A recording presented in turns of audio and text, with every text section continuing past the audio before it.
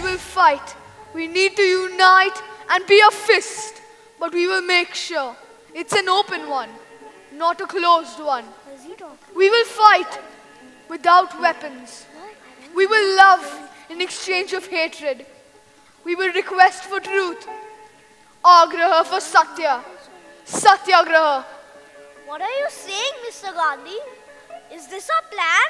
I thought we will find a solution today, Mr. Gandhi. We require solution today, Mr. Gandhi. But never in the history of mankind has anyone won a war without a weapon, Mr. Gandhi.